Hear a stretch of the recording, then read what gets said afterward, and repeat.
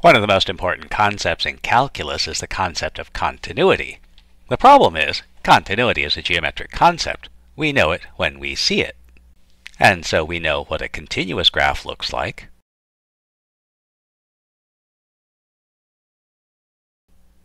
And we know what a not continuous graph looks like. But the problem is, calculus is an algebraic concept we have formulas. And so the question is, how do I translate these geometric concepts into an algebraic framework? And so we'll run a little bit of analysis here. So suppose my graph is continuous at some point where x is equal to a. Then I notice that there's two important things that happen. First of all, there's actually a point on the graph, a f of a.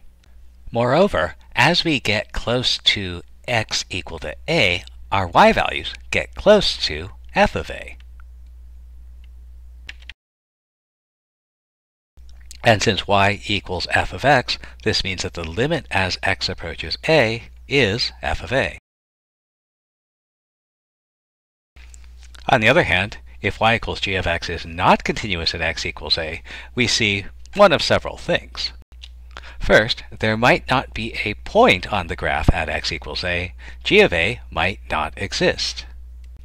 Next, there might not be a value for the limit as x approaches a of g of x.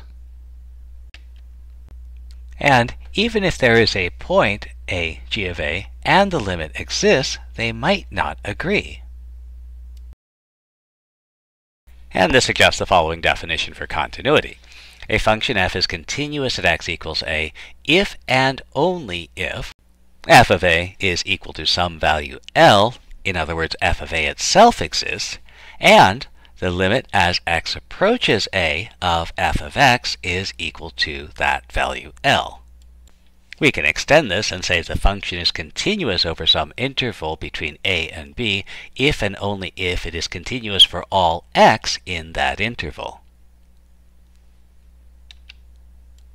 For example, suppose f has the following function values. Let's find a value c that will make f of x continuous at x equals 2.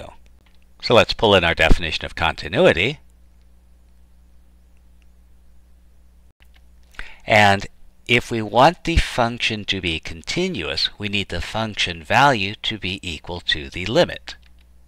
So the first question we want to ask ourselves is self, What's the limit as x approaches 2 of f of x? And the table suggests that the limit as x approaches 2 of f of x is equal to 9. So if our function value is equal to 9, then our limit as x approaches 2 and our function at 2 are the same, and so our function will be continuous at x equals 2. Now previously we had established a theorem about the limits of algebraic functions. And this theorem, combined with our definition of continuity, leads to an extremely important result. Let f of x be any function expressed in terms of powers, roots, and or quotients of our variable x. Then f of x is continuous everywhere it's defined.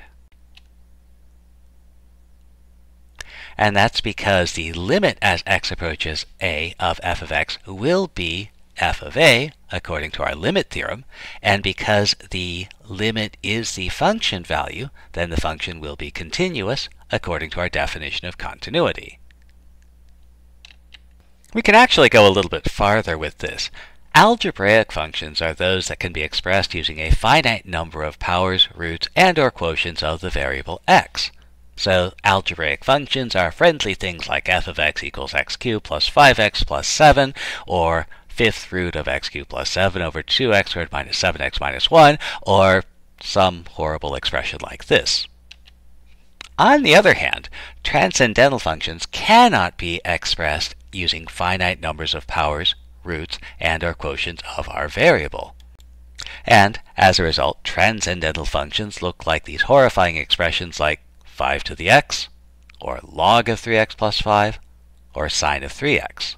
And as you can probably guess from these examples, our primary transcendental functions are the exponential, logarithmic, and trigonometric functions.